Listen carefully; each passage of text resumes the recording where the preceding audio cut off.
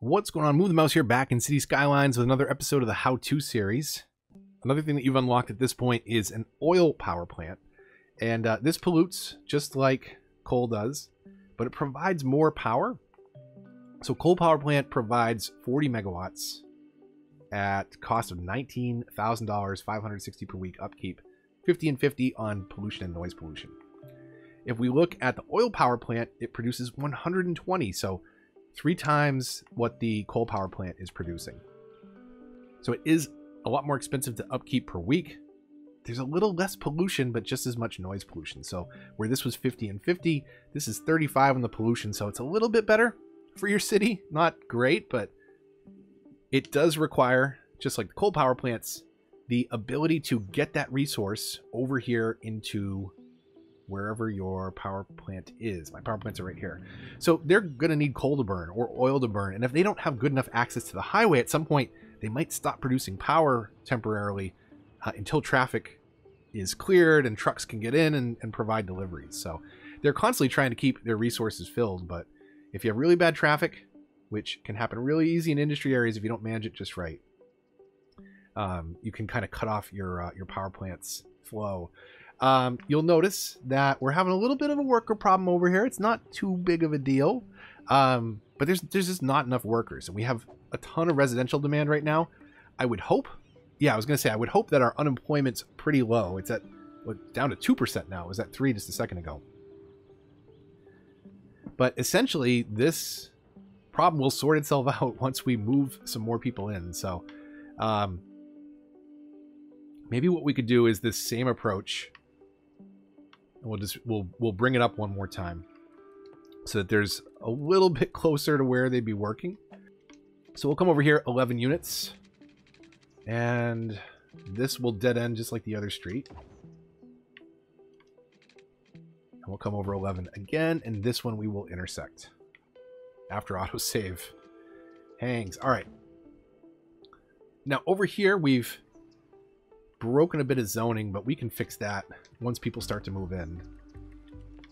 Let's just fill this entire block in. We've got some money in the bank. We've got to meet a couple more city services over here. What did we do? We went to that one.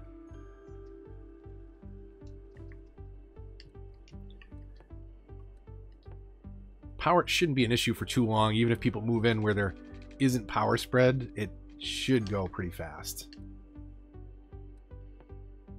You can see those bubbles are pretty forgiving at where they'll spread power to. So pretty much as everybody moves in, we should be good there. Real quick to get people moving around these neighborhoods a little better. We can get them connected like this. And then maybe do something like that.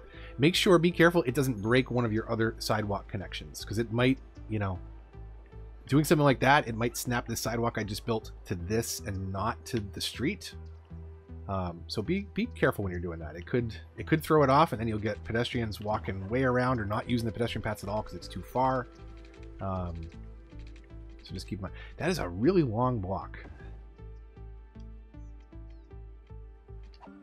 Let's break this and right where was it here?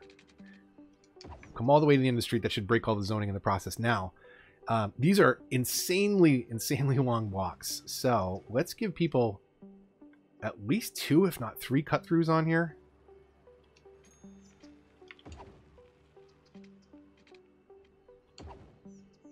We'll do that. And how about one right here? Now, what we can do is break the road from, from these two points to create crosswalks at those two points. So I'll just show you this one more time. We built a really narrow crosswalk over there by the school if we pause this for a moment. Let's see. We'll bring the regular road as close as we can to that right there. We'll stay on the outside of it if we can. There we go. Perfect. Now, if we do grass line or let's do tree line since we haven't seen that yet. So that has a really nice look and it creates these crosswalks almost, you know, right where we need them. I'll do one more one more block of uh, footpaths just because we want these people moving around, not getting in cars. We'll see how far they're willing to walk. We might even connect the pedestrian path up to here. Um, but that's a bit of a stretch right now.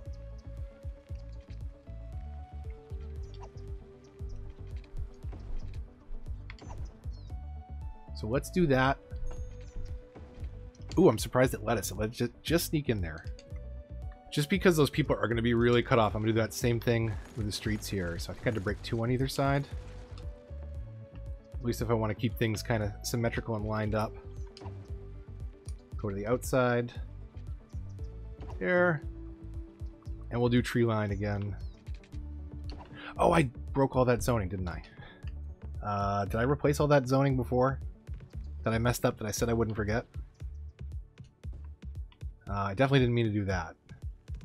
So X button on Xbox, square on PlayStation. You don't have to switch to the D-Zone tool. You can just use that to D-Zone uh, instead.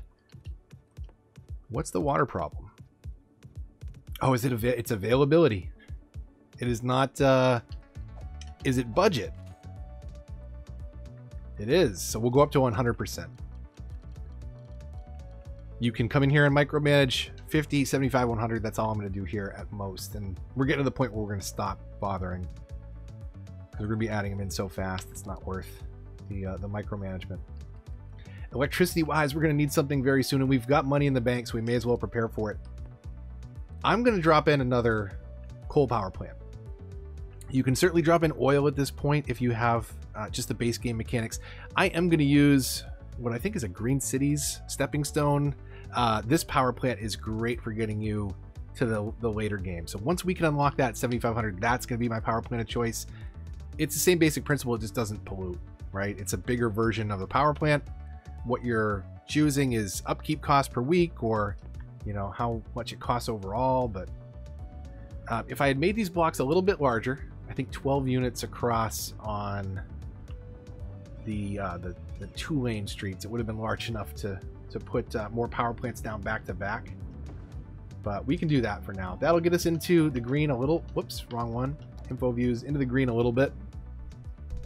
So we should be good there for a little while. Next milestone again is at 7,500, and that's where we unlock a lot of the high density stuff. So before we get there, we want to talk about everything we need to prepare for it. And one of those things definitely is uh, transport.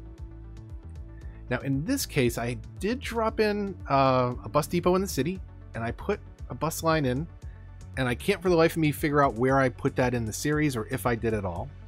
So just in case I didn't, real quick recap, you drop in a building like a bus depot somewhere on the map. Buses spawn from there. They don't actually have to be connected as part of a line. Just put it on the roads that connect to the roads you want to put a bus route on.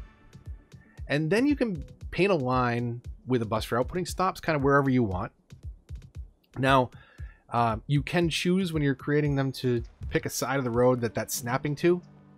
So make sure you do the side that you want. Otherwise, you'll create some real funky routes where if this stop was you know, on this side, the bus might go down to this dead end and turn around and come back up this way. You don't want that. You don't want buses creating more traffic. So let's come up with another bus route that's going to service this area. And for this first stop, I'm going to put it beyond this intersection so that we can kind of turn in and around this area. But let's say we want people to stop right there. That's the, the first stop. And it creates this little cutout. And you can actually see it removes the parking lane so that the bus can pull over and try and get out of the way of the traffic. Now, we can put these wherever. This is where I was talking about, you know, if I have it on this side, it's going to drive down the street. But if I have it on the other side, well, it, it can't, you know, just cut over the median. So it has to go all the way down, turn around and come back. So let's do, uh, let's cover kind of this, this part over here. So I'm going to put one, you know, not too, too often, but, you know, not so far apart that it's not beneficial. Maybe we can go like kind of on every quadrant sort of here, just to get people kind of moving around the area. And here we'll do kind of at this middle street. It's not an exact science, and I'm not necessarily the best at it. But hopefully this will give you an idea. We'll get some buses moving people around the residential area, getting them out to places like the larger commercial strips.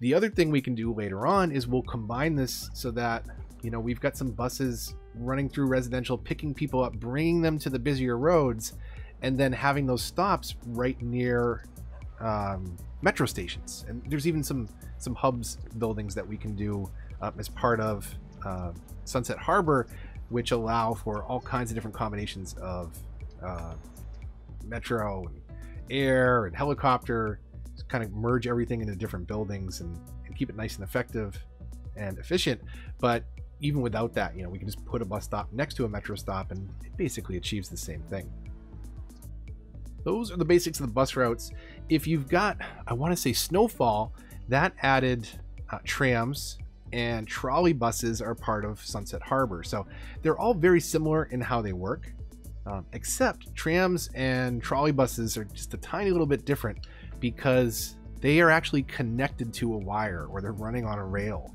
And the depot needs to be connected to roads or a path that has that that rail system or that overhead wire for the trolley buses. So you'd set them up virtually identical, but effectively you need a route.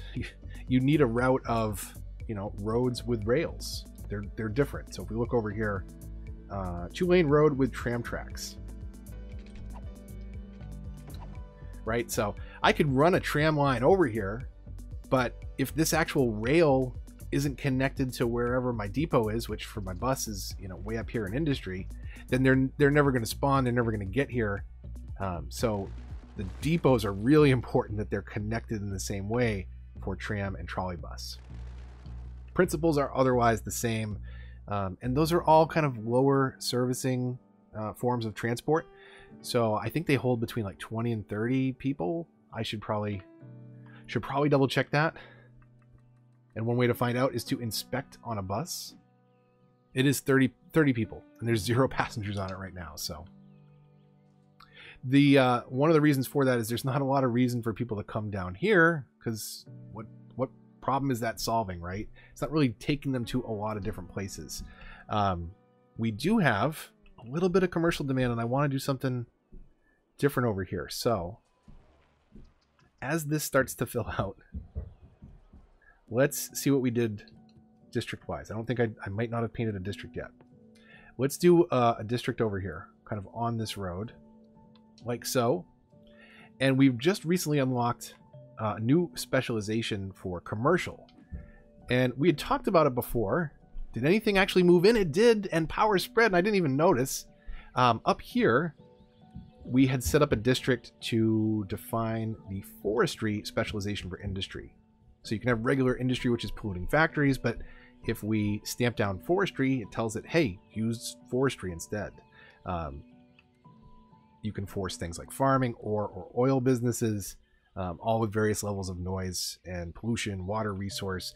Push the right stick in if you want to find out a little bit more about each one of those. Um, so it'll actually pop up a little tooltip to tell you. And some of them increase ground pollution, increase water usage in the form of farming, um, right? Doesn't that, yeah, considerably increased water consumption. So that's the the drawback to something like a farming. But uh, we've when we finally had some demand and there wasn't any other place to go, they finally started deciding to move in some uh, some logging business. And you can see that comes all the way down through here and underneath this overpass. We'll get it connected to the actual highway at some point where they won't have to cut through there, but it's working for now. But now as we've got all that um, residential demand with that little bit of commercial we've got, I want to do another one of those specializations. So over here, we can do a tourism specialization. So if we paint a district and stamp this policy down on it, the commercial businesses in this sector will be focused on tourism. And essentially, the thing to think, the thing to caution about here is that it does cause more noise pollution than even a traditional commercial zone, which is already noisy. It does attract tourists, which again bring even more people into your city, causes more traffic, but more tax revenue. So these are things that, you know, hotel accommodations, restaurants, other things like that. So we'll see different types of businesses cropping up here on this strip. Uh, once we define it as actual commercial, any of the commercial in that zone is now directed to be tourism focused. So you can have kind of these little different districts. And right now we're still on low density. But once we switch over to high density later on, you can have, you know, a big downtown area with a block of hotels or, or kind of scatter it and stagger it all over if you wanted to. But uh, in order to do that, you kind of have to uh, snake in and out with the, you know, with the brush around different blocks, maybe. Um, otherwise, you're just going to have, you know, whatever your district is, anything that's zoned commercial in that district is going to be a mixture of those buildings. Hopefully that will fill out uh, in a minute or two. Looks like we need more residential. So let's see if we can meet that real quick. Those of you that follow the Let's Play, uh, most of you know that I have a, a three-year-old because you, you hear her from time to time. And today's definitely one of those days, but I've been trying so hard to uh, find a spot to record this. Um, you're you're just gonna have to deal with it. So I'm pretty sure you might have heard some some screaming, some playing, some stomping somewhere in the video today. Apologies for that, but apparently it's not in the cards that it is not going to happen. So, uh, real quick, just thought about this that we didn't have water down here. And again, we'll just connect that for redundancy and may as well Oh, little, tiny little bit off there, huh? Well, just in case. We've certainly got money for an extra pipe at this point. Oh, we could probably put some down here. Since they're complaining. So let's do that. We'll take a quick scan through. Um, I'll keep an eye out eventually as commercial demand grows and there's no other place for businesses to move in. In fact, we might be getting very close to that right now. I don't think there's... Well, there's a couple abandoned buildings. But that should... I was going to say that should fill in next. And there we go. Now you see, I mean, you've got eateries and bookstores and all sorts of other stuff. In fact, some of them repeat way too often, unfortunately. Um, but even though this is uh, low density, you still get this this dramatic shift in the size of buildings. So when you're ready to create that big downtown area, um, you can kind of ramp things up. And we'll talk about more how to do that in, in a later episode once we have all the different tools and districts and zones unlocked. But you can see just stamping something down like tourism, now we've got the uh, the Grant Canyon Casino and the hotel. What? The hotel. And uh, what is this one? What is this one? Does it say? It's a hotel. Okay. This is a hotel. And this is a hotel. So basically they're hotels. And, and a comedy club? What is this? Coffee roasters? Okay. So that kind of gives you an idea how dramatically you can shift things even before you get to high density zoning. Um, makes a big difference and really is an impact on the skyline. Let's take a look from over here. You know, so be careful how much you use that uh, because of the noise, because of the traffic, because of the height. Uh, depending on the city you want to build, maybe you have a very tourist-focused uh, city, uh, and then that would be perfect. But you know what? In in retrospect, we probably don't need an entire block of that. So, whoops, let's do that, and let's remove that because that's certainly Certainly enough for now. Have a couple hotels down here on this main strip. We've got to meet a little bit more industrial demand, I think, to grow us to 7,500. But when we get there, that's one of the things that we'll be able to switch up on industrial demand is start using office zone instead. But we'll talk about that when we get there. Getting ahead of myself again, there's two things that I want to do. One of them is a policy review just to see what we've unlocked because we did unlock a bunch of things there. Uh, there's also one building that I want to drop in right here, skate park. For those of you that don't know, I created this channel back in 2010 to post a Skate 3 video, so I figured I'd drop that in. Man, it's a little lumpy. We'll fix that later, but uh, but there we go. The the thing that started this channel was a Skate 3 video in 2010. Didn't upload anything for five years. Then I did a bunch of Fallout content. Uh, and then I discovered uh, Cities Skylines, and I'm glad that I did. And I'm glad you found the channel as well. So, anyways, back to it. Let's jump in. Sorry for the uh, the distraction there. That's another regular occurrence on the channel. Uh, we've unlocked some more policies, and and every time that you kind of come in here, you know, look at what's not turned on and consider it. Um, but you'll notice some of them are still kind of grayed out. So we don't have to worry about all of them just yet. Uh, but we did get a couple interesting ones on the city planning tab. Um, and these are actually all super, super helpful for managing traffic. So heavy traffic ban, encourage biking, ban on sidewalks, NIMBY, and Old Town. Now you can do any of these policies citywide. Um, that kind of would break uh, some of this though, so you got to be careful what you're applying where. And the thing to keep in mind, like I mentioned before, like we did with this little district over here, is anytime you paint a district, you can do district specializations, what kind of industry, what kind of commercial, what kind of residential, and so on. Later on when we unlock office, what kind of office. But having a district lets us interact with it and define policies for just that district. And some of these are going to be especially valuable for that purpose. Now, eventually we're going to get all this connected, and I, will do this real quick just to prove a point. So let's freeform a road. Whoops. Or let's draw a straight road and delete a couple houses. Um, let's do this. Let's kind of hook this in like that. Clean up that little extra bit of zoning that kind of snuck by there. So right now you can see right away, we've got a truck heading up that way and a truck heading this way. So right away they're seeing that as a route and saying, hey, I, that's a that's a quicker way for me as a commercial business maybe to get from here to do a delivery over here. And uh, if we don't want that, if we don't want people cutting through something like a residential area, we can paint a district, go into policies, and then do something specific for that district. So if we want to keep traffic in this residential neighborhood to only the residential neighborhood, basically, if you live here and are going to work, you can drive. If you uh, are coming from work and coming home, you can drive. But anybody else, maybe we want to keep out. So if we inspect this new district that we've just created, notice how I've uh, drawn around the roads here. I don't want to affect commercial areas with the trick that I'm about to do here because they need trucks and, and, and, they need stuff coming in. Uh, but there's a couple things that we can do to help out and make sure that the uh, the residential neighborhoods stay a little bit more quiet. If we go into policies and again over to city planning, what we can do is we can say something like heavy traffic ban. Heavy traffic ban makes it so that no heavy transport vehicles are allowed in those roads. It does not, however, affect highways. So if you're overlapping over a highway, it's not going to change anything there. That can be really useful if you just want to keep heavy traffic out of an area. So if we don't want to see trucks cutting through Mulberry Heights, then that will stop that behavior.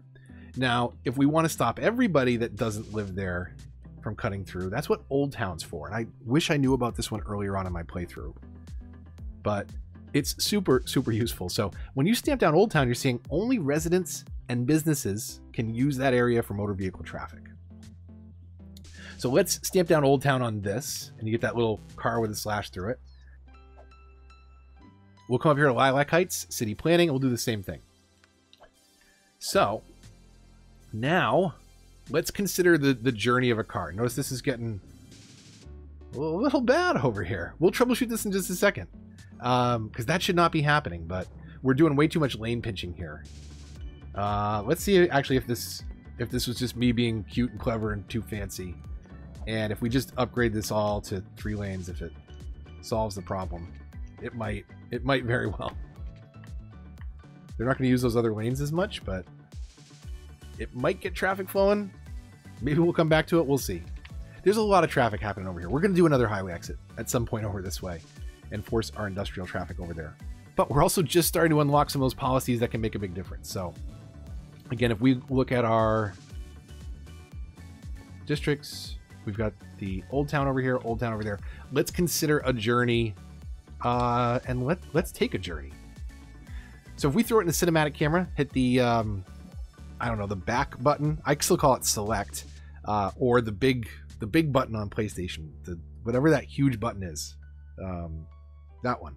So hit that, and that'll get you into this free camera mode. Now hold Y or triangle and go into cinematic camera right? You can kind of fly around, get these, you know, preset views of the city. It'll follow different roads, things like that. Uh, you can also go into walk and walk around your city. Various uh, different character models. You can hit left or right on the D-pad to change them. So you've got the whoa, hey, we've got those options, and then you also have the ability to drive. So you can highlight, click on the road, and you can actually go in uh, left and right triggers will kind of zoom in, zoom out if you want to go into to first person, and then A or X to go, X or square to stop. Uh, and uh, all right, we're off off to a terrific start. These these are actually really uh, really top heavy apparently. So I I flipped a car uh, and knocked the sign over. Let's try again. Uh, there we go, car. Try not to get going too fast because these things do not handle well. This is not this is not a driving game, but it is kind of fun to kind of see your city from this perspective once in a while. Now, if I'm driving into the zone, this is all totally fine. Old Town, I live here, I work here, you know, this is where I go. Now, if I wanted to say go visit somebody or go to a business that was down here, I would park my car right here and get out and walk because it's not an option anymore. Um, Old Town says, hey, if you don't live here, you aren't working here, you can't drive through it, you can't drive to it, you basically you can't come into that district. So you may actually see that behavior if we throw this on three times speed for a minute. City service vehicles are not affected, and the people that are turning in here, like that one right there, just got out and walked. They actually might have had a justification for parking there. Anyways, you'll see it reduce traffic. That's the point. And some of those policies that we just unlocked are so so huge for that. But things like heavy traffic ban, uh, Old Town, and NIMBY or not in my backyard. Um, should all be applied kind of at the district level. If you want to ban bikes on sidewalks across your city, that's fine. Um, definitely consider encourage biking citywide because that will get some people off the roads as well. One of the um, roads that we unlocked is two lane roads with bike paths. Now they have, I don't know, the drawback. It's not necessarily a drawback, but this street looks very lived on. You know, there's cars parked there people moving around. Um, these two lane roads, you know, they all they have that default parking lane. If we go into the roads tool and upgrade these, we get rid of the parking lane, but now there's a dedicated bike lane. And you can see right as soon as the parking lane ends, the bike lane begins. You can't park there, but you can drive uh, your bike there.